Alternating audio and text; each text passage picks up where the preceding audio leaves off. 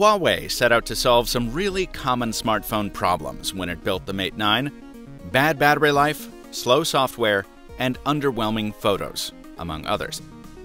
But now that the Mate 9 is officially on sale in the US, the biggest problem that needs solving is convincing Americans that it's worth buying. This is the Huawei Mate 9 review from Mr. Mobile.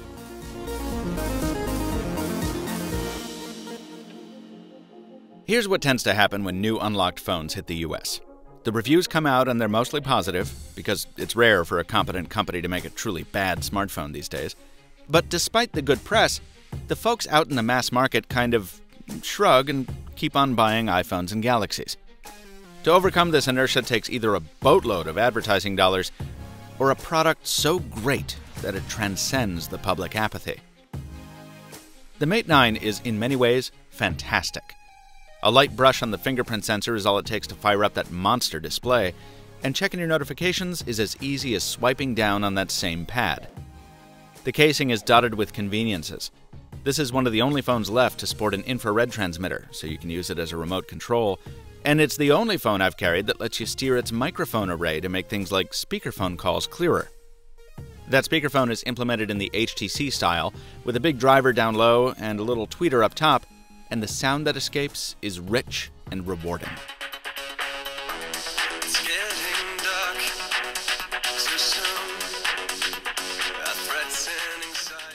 Under the skin, the biggest thing taking up space is the battery. And Huawei didn't just cram in a bunch of capacity.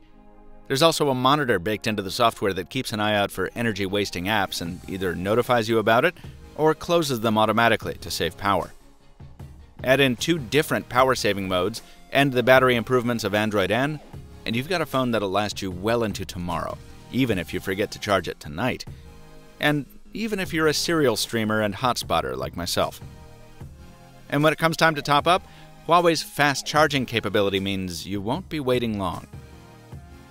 To close out the fantastic bits, look no further than the camera. Not the schmaltzy filters and not the cheesy wide aperture stuff, but just shooting with the camera in automatic mode it's quick and it's reliable. And when you want to roll out the fancy features, there's no shortage of those, with full manual controls and object tracking, which keeps a subject in focus no matter what you do with the phone.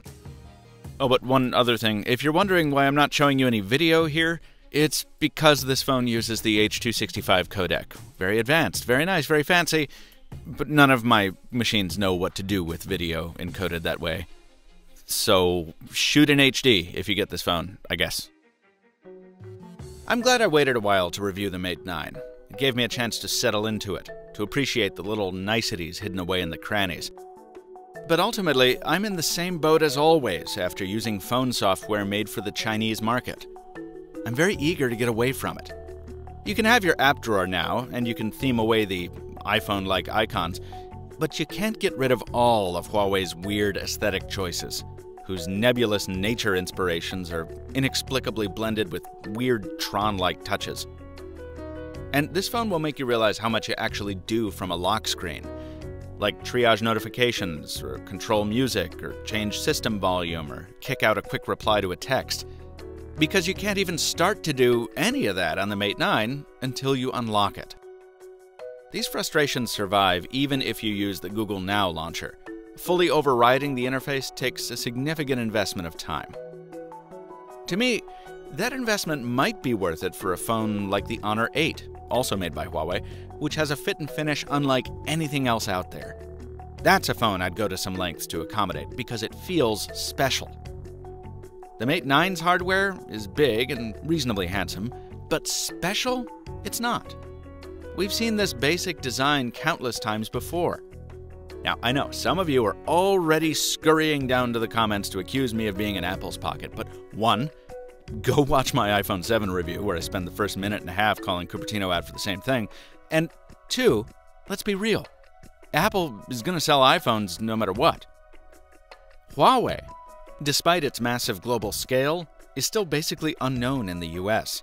And a conservative design like this, mated to software like this, doesn't stand a big chance of changing that, especially without a carrier deal that puts this phone in brick and mortar stores. After all that doom and gloom, How about some good news? The Mate 9 is quite competitively priced. A similar form factor and spec sheet will run you over $700 if you go the Google Pixel route, but 599 gets you the Mate 9, an unlocked smartphone ready to use on T-Mobile or AT&T with outstanding battery life, a great camera, and a screen big enough to get things done two apps at a time. Huawei was looking to solve some problems, and it sure succeeded for the most part. So, this review is great news for phone nerds still seeking a worthy replacement for the Galaxy Note 7. But for Huawei, I fear it's just another positive review that most folks will glaze over while they wait for the next Note or the next iPhone. If you're using a Huawei device in the US, I want to hear about it. Share your experience in the comments below that subscribe button and stay tuned for more mobile tech video coming every week. Till next time, thanks for watching and stay mobile, my friends.